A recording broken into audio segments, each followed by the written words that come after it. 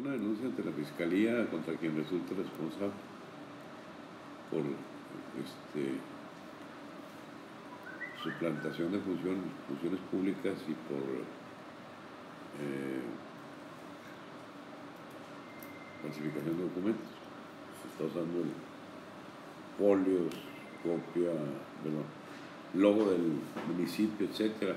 Entonces esto ha causado mucha inquietud en la gente que está recibiendo. ¿De qué se trata?